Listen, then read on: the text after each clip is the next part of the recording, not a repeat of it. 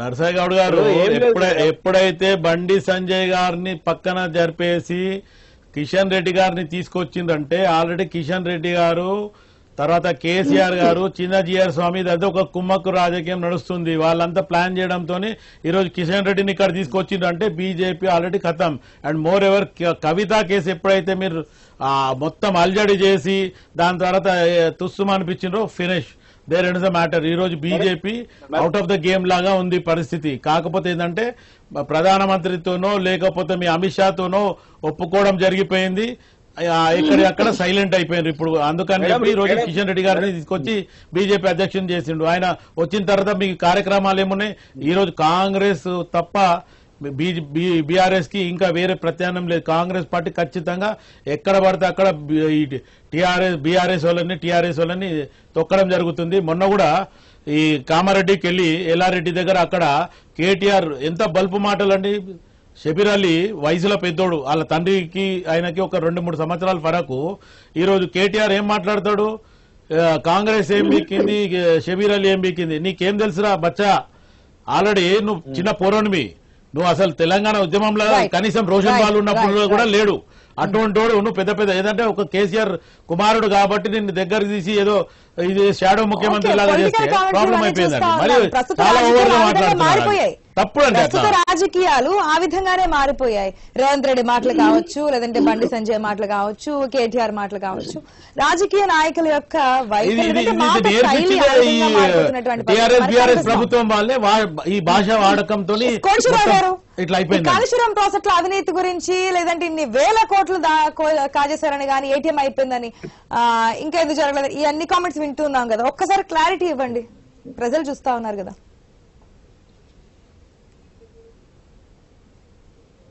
Hello? Kodiswararao గారు. Ya ya నా okay. ఇప్పుడు నాగం జనార్దన్ రెడ్డి గారు తెలంగాణ కాగ్ గురించి చెప్పిన లేదా నిన్న ఇవాళ ఇప్పటికి ఇంకా వార్తలు వస్తున్నాయి. కేంద్ర ప్రభుత్వ నిర్వాహకాల గురించి కాగ్ నివేదికలు ద్వారకా ఎక్స్ప్రెస్ వేలో ఏ విధంగా నిర్మాణాన్ని నిర్మాణ ఖర్చును పెంచి ఎంత అక్రమాలకు పాల్పడింది కాగ్ చెప్పింది అనేటువంటి వార్తలు వస్తున్నాయి. అందువలన కాగ్ తనకు సమర్పించినటువంటి రికార్డులను బట్టి అది ఒక దర్యాప్తు సంస్థ కాదు. Only auditing agency. ఆడిటింగ్ చేసినప్పుడు దానికి అనుమానాలు వచ్చినా లేకపోతే దానికి తగినటువంటి రికార్డులు సమర్పించకపోయినా గానీ వాటన్నిటిని అది ఫైండ్ అవుట్ చేసి ఇదిగో ఇది లోపాలు అని చెప్తుంది తప్ప మరొకటి ఇది అక్రమంగా జరిగింది లేదా సక్రమంగా జరిగింది అనేటువంటిది ఆ విధంగా చెప్పదు. లోపాలు. ఇప్పుడు నాగ రెడ్డి గారు చెప్పినటువంటి సంఖ్య కావచ్చు లేదా ఇంకొక సంఖ్య కావచ్చు దానికి సంబంధించినటువంటి సరైనటువంటి వివరాలు లేవు అని చెప్పిందంటే దాని అర్థం అది మొత్తం అధికారంలో ఉన్న వాళ్ళు తిన్నారని కాదు. దాని గురించి ఎక్స్ప్లెనేషన్ ఇవ్వాల్సినటువంటి బాధ్యత అధికారంలో ఉన్నటువంటి వాళ్ళు అందులో ఎలాంటి సందేహం లేదు. అందువలన సాగు నివేదికలు ఇవి పక్కన పెట్టేట్లయితే నర్సయ్య గౌడ్ గారు చెప్తున్నారు మన ఈ ప్రతి ఇటువంటి చర్చ వచ్చినప్పుడల్లా మొత్తం ఫిర్యాదులన్నీ కేంద్రం దగ్గర ఉన్నాయి. జాగ్రత్తగా చూస్తున్నారు. ఎన్ని సంవత్సరాలు చూస్తారండి జాగ్రత్తగా. అంటే ఎలక్షన్స్ దగ్గరికి వస్తున్నాయి కదా ఈ వన్ మంత్లో బయట పెడతారు అనుకుంటా ఇవన్నీ ఇవన్నీ పెట్టేది కూడా ఏం ఉండదండి. ఏం ఉండదు. ఇప్పటి వరకు పెట్టినటువంటి వాళ్ళు ఎన్నికల ముందు పెడతారు ఎట్లా పెడతారు ఎన్నికల ముందు పెడితే నాది కేసీఆర్ గారికి నెత్తిన పాలు పోసినట్టే. ఎందు- ఎందుకంటే నన్ను వేధించడానికి ఈ విధమైనటువంటి తప్పుడు కేసులు పెట్టారని చెప్పేసి ఆయన పెద్ద ఎత్తున జనంలోకి వెళ్తారు. అందుకని అటువంటి అంత ధైర్యం కూడా బీజేపీకి లేదు. ఏంటంటే బీజేపీకి ఉన్నటువంటి ఏంటంటే చూపించి బెదిరించడం అదిరించి బెదిరించి ఒక విధంగా చెప్పాలంటే బ్లాక్ మెయిల్ చేసి ఎందుకంటే మనం చూసాం. అస్సాం ముఖ్యమంత్రి హిమంత బిశ్వ శర్మ విషయంలో కూడా ఇదే అమిత్ షా గారు అక్కడ బుక్లెట్లు వేసి ఇదిగో హిమంత బిశ్వ శర్మ కాంగ్రెస్లో ఉన్నప్పుడు చేసినటువంటి అవినీతి అక్రమాలు అని చెప్పేసి ఒక పెద్ద చిట్టా ఇచ్చారు.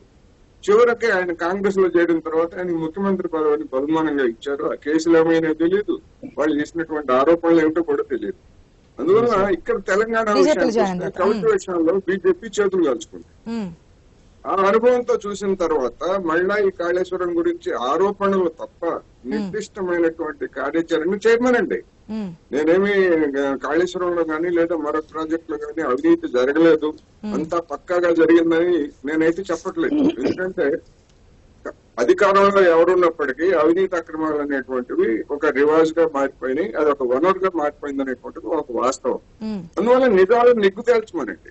కేంద్రంలో ఉన్నటువంటి జరిగినా. ప్రజల ముందు పెట్టాల్సిన బాధ్యత పార్టీల మీద ఉంటుంది. అది ప్రతిపక్షాలు ఆరోపణ చేసినప్పుడు కూడా అది నిజం తేల్చాల్సిన అవసరం. కూడా ఉంటుంది. మరొక పాయింట్ ఇక్కడ ఏంటంటే ఆ, ఎన్నికైనప్పటికీ కేవలం డబ్బు అనేది మనకు కనిపిస్తోంది. ఈ మధ్య పదే పదే కేటీఆర్ చెప్తున్నారు నేను డబ్బులు పంచును మద్యం పంచును ప్రజాభిమానంతోనే గెలుస్తానని చెప్పి. ఇప్పుడు నర్సయ్య గారు కూడా చెప్తున్నారు.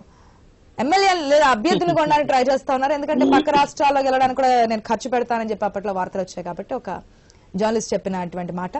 సో దాని ప్రకారం ఆడుతా ఉన్నారు. అది ఇవాళ ఉన్నటువంటి రాజకీయాల్లో ఆ మాటలు ఎవరు చెప్పినా గానీ పచ్చి అవాస్తవాలు వాస్తవ విరుద్ధమైనటువంటి అంశం. బీజేపీ సంబంధించి పక్క రాష్ట్రాల్లో కర్ణాటకలో కావచ్చు లేదా మధ్యప్రదేశ్లో కావచ్చు లేదా మహారాష్ట్రలో కావచ్చు అసలు ఎమ్మెల్యేలను ఏకంగా కొనుగోలు చేసినటువంటి చరిత్ర బీజేపీకి ఉంది. ఒక బీఆర్ఎస్ నే మనం తప్పు పట్టాల్సిన పని లేదు. ఉమ్, బీజేపీ కూడా చేస్తున్నది అదే. చేసి రాష్ట్ర ప్రభుత్వాలనే మార్చేసిన ఉదంతా మనం చూసాం కర్ణాటకలో అదే విధంగా మధ్యప్రదేశ్లో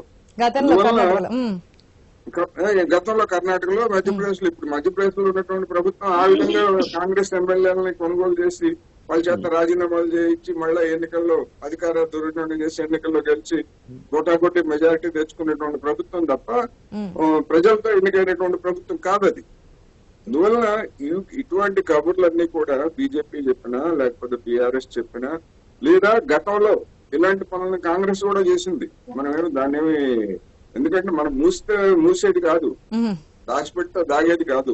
చరిత్ర అనేటువంటిది ఉన్నది అనేక ప్రభుత్వాలను మొత్తం పార్టీలకు పార్టీలనే విలీనం చేసి లేదా ఆర్టికల్ త్రీ ఫిఫ్టీ సిక్స్ పెట్టి రాష్ట్ర ప్రభుత్వాలను రద్దు చేసి అంత రచరచ చేసినటువంటి చరిత్ర కాంగ్రెస్ కూడా ఉంది.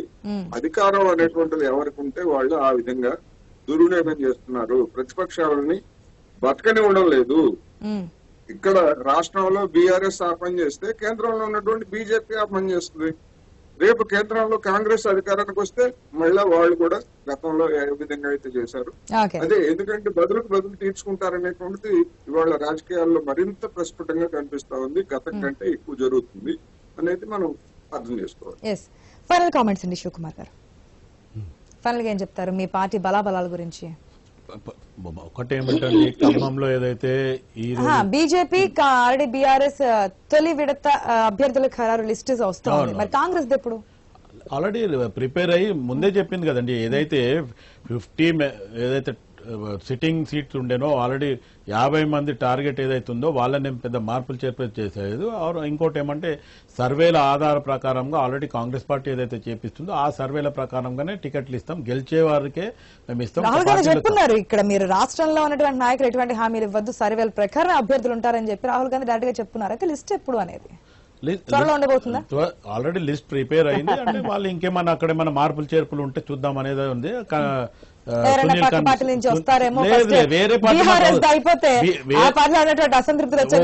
ఏమంటే అండి బీఆర్ఎస్ నుంచి మా పార్టీలకు రాని అవసరం లేదు. ఎందుకంటే కాంగ్రెస్ పార్టీలో ఉన్న స్ట్రెంగ్త్ కార్యకర్తలు రేవంత్ రెడ్డి పక్క పార్టీలకు వెళ్ళిపోయిన వాళ్ళు రండి అని ఆహ్వానిస్తున్నారు? అంటే గర్వాపసి అనడం ఎందుకంటే కాంగ్రెస్ పార్టీలకి అప్పుడు అసంతృప్తితో వెళ్ళిన వాళ్ళు మీరు పార్టీలకు రాండి మీకు సరైన సమయంలో సముచిత స్థానం కల్పిస్తామని చెప్తున్నాడు. కానీ మీరు వచ్చేయండి మీకే తీసుకొచ్చి MLA final comments ya madam ఇక్కడ ఏంటంటే ఒకటే చెప్తున్నాం. టిఆర్ఎస్ ప్రజల్లో చాలా బలంగా ఉన్నది. సంక్షేమ పథకం ప్రతి ఒక్క ఇంటికి ప్రజా పథక సంక్షేమ పథకం ఇంటికి వెళ్తున్నది పూర్తి విశ్వాసంతో ఉన్నది. ఎందుకంటే వీళ్ళు ఇక్కడైతే కాంగ్రెస్ పార్టీ చెప్పిన ఏదైతే ఇప్పుడు అంశాలు ఉన్నాయో ఈ దేశంలో కూడా కాంగ్రెస్ అధికారంలో ఉన్న అక్కడ వీళ్ళు అమలు చేసిన సందర్భం లేదు. ఇక బీజేపీ అంటారా? ఈ దేశంలో అన్ని ప్రభుత్వ సంస్థలు ప్రైవేట్ పరం చేసింది. వీళ్ళు పల్లెల్లో కూడా పరిస్థితి చూస్తే నిత్యావసర సరుకులు చాలా పిరమైన అంశం ఉన్నది. ఈ రోజున పెట్రోల్. దగ్గర నుంచి నూనె దగ్గర నుంచి ఉప్పుల పప్పు దగ్గర నుంచి అంశం ఉంది. ఎస్ రెండు వందల శాతం. ఇక్కడ ఇంకొక విషయం చాలా స్పష్టంగా క్లియర్ చెప్తాను మేడం. ఇక్కడ మాకు వీళ్ళతోని మాకు ఏం ఫైట్ కాదు. మాకు చాలా క్లారిటీ కూడా మేము అధికారం వస్తుంది. వీళ్ళు కొట్ల వీళ్ళు తెలుసుకోవాల్సింది ఏంటంటే ప్రతిపక్షంలో ఎవరు ఉంటారు అనేది కాంగ్రెస్ బీజేపీ తెలుసుకోవాలి ఏదైనా ఎలక్షన్స్ దగ్గరలో ఉన్నాయి కదా ప్రజల తీర్పు చూద్దాం. ఈ లిస్ట్ వచ్చిన తర్వాత అభ్యర్థులు ఏ ఏ గూట్లో ఉంటారో కూడా చూద్దాం. థ్యాంక్ యూ అండి థ్యాంక్ యూ సో మచ్ డిబేట్లో పార్టిసిపేట్ చేసిన ప్రతి ఒక్కరికి కూడా. ఇది వాళ్ళ న్యూస్ కీప్